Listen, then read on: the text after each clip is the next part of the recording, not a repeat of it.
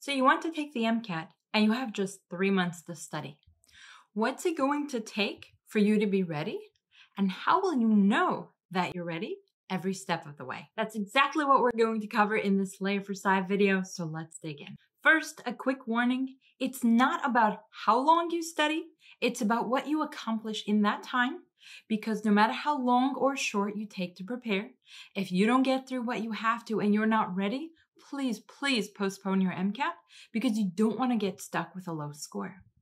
Despite the intense nature of this plan, we're still going to follow the three-phase approach that I cover in the tutorial link below.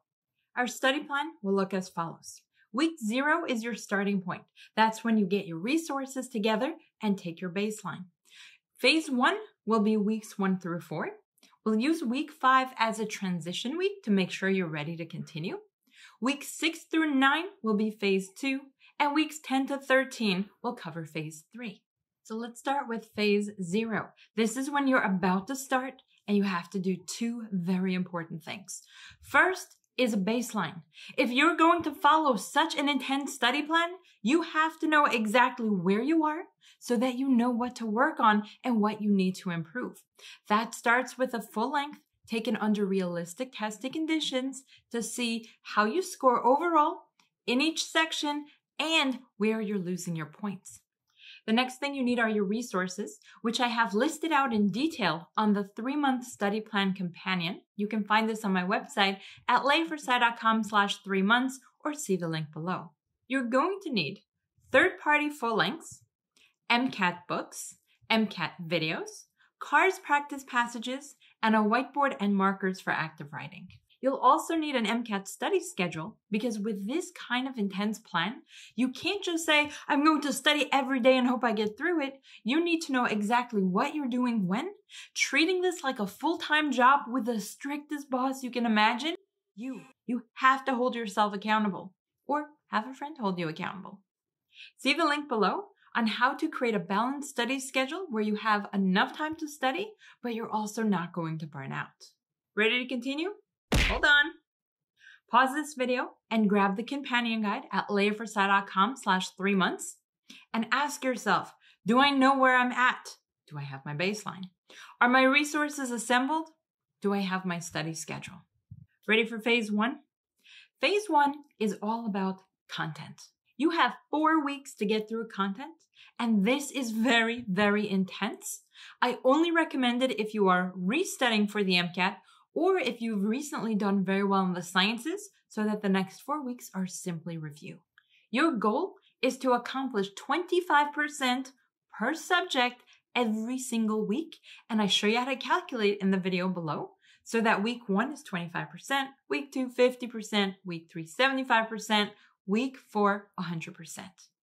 And stop. Did you hit your goal? Did you hit 100% content in these four weeks? If not, reevaluate. How much did you accomplish on a weekly basis? And if you extrapolate this number, what is your total phase one timeline? Add that time to your schedule before you move on to phase two. If you did reach your goal, let's move on to week five, the transition week. In week five, we ask a very simple question. Was my speedy content review enough or do I need to go back? And you do this by taking another non-AAMC full length under realistic conditions and you review this using the MCAT full-length review article that I have linked below at leah4sci.com slash MCATFL. As you review the exam and create a full-length review table that I teach in the article, ask yourself, did I improve from my baseline? By how much? Did I get closer to my target score? Did I miss less than 10 questions per section related specifically to content? If yes, Let's continue. If you missed more than 10 content questions per section, you probably went too fast and you need to go back and review. As you move into phase two, understand that the realistic expected improvement is only one to two points per full length, and so you have to give yourself time. In phase two, from weeks six to nine, we're going to take two more full lengths. One is a non-AAMC, the second will be AAMC, with a hardcore review and quick evaluation in between. The resources for phase two include a third party full length exam, AAMC full length exam, a source for practice passages, and a whiteboard and markers for active writing. Grab your full length review table from week five and carefully analyze the categories. I want you to pick that one biggest issue per section that cost you the most points, and that's what you're going to focus on this week. You don't have time to fix everything, and you won't be able to fix everything. But if you can improve on one big issue per section, you should see a score increase.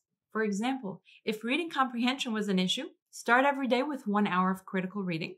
If you struggle to follow the scientific experiments, add one hour of journal reading to your schedule. If you found yourself forgetting what you've studied, for example, formulas and equations, names, structures, pathways, add 30 minutes of active writing to every single day and attack those details. Now spend the entire week doing a mix of practice passages with digging into your weaknesses, where the practice passages intentionally focus on what you know is your issue. At the end of the week, evaluate. Do I feel better about my one issue per section? Do I feel ready to see results? Then take another full length, but still not AAMC, and spend the entire week reviewing and creating another full length review table so that you can compare to the last one and see if you've actually improved. If you finish reviewing your exam before the end of the week, start on your next week goals, which include looking at that full length review table, identifying that one issue per section, and modifying your schedule to attack it. Work on practice passages, work on your weaknesses, and ask yourself, is this going to help me improve on my one issue per section so that my score jumps up? This will take you through week seven and into your big evaluation. Not a quick question that you just pause this video and think about, but the kind of evaluation where you take a pen and paper with you and go for a very long walk where you just think and write down your thoughts and ask yourself this honest question Am I ready for phase three? Am I within just a few points of my target so that the next few weeks will be enough? Or, as much as I don't want to, do I need to take a step back and give myself more time because I need to jump quite a few points, which I can't do in the next few weeks? The reason you ask yourself now is because the next exam is going to be an AAMC full length and we want to save that until you're sure that you're about to test so that you don't waste the best resource available. And if you're sure, now is when you take your first AAMC full length under realistic testing conditions.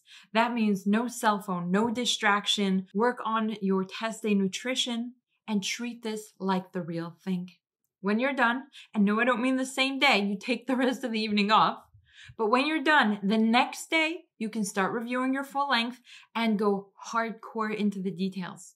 Create that table and analyze very carefully where did I lose points? What is the one thing I need to focus on after this full length so that I identify that biggest thing still hurting me so that I get that last point or two before going into phase three. And this is what you work on in week nine.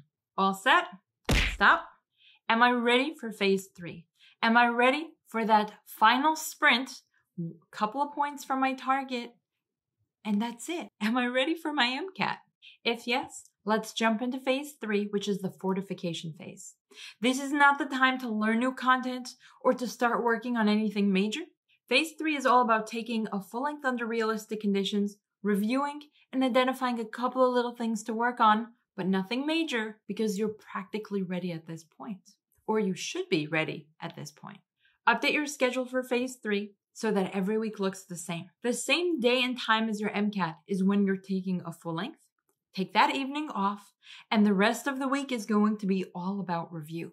You review the passages, you review the questions, you quickly fix anything that comes up. And if you have some extra time, work on practice passages so that next week you can start all over again, do the same thing, all over again, do the same thing. And by test day, it's going to feel like just another week where you have an AAMC full length, well, followed by relaxation because you'll be done. Here's what I recommend for phase three. And this is based off of the fact that as I'm recording this video, there are only five AAMC exams, four scored, and the one sample test that gives you a percent correct. We've already done AAMC 1 at the end of phase 2. So in week 10, you'll take AAMC 2, where you're looking to score between 2 to 3 points of your target. Week 11, AAMC 3, ideally within 0 to 2 points of your target. Week 12, AAMC 4, ideally 0 to 1 points over your target. Week 13, the AAMC sample test, which is a little bit easier than the real thing. But if you estimate your score, it should be above your target, proving to you that no matter what, you're ready to reach your target score, even if you lose a point or two due to test day nerves. And that's it. You're done. Week 14 is test day. Take your MCAT and you're done. Now that you understand the plan, visit my website, leah4sci.com slash three months for the PDF companion, including detailed resources, milestones, checkpoints, and questions that you're going to ask along the way to make sure you stay on track. The link again is leah4sci.com slash three months.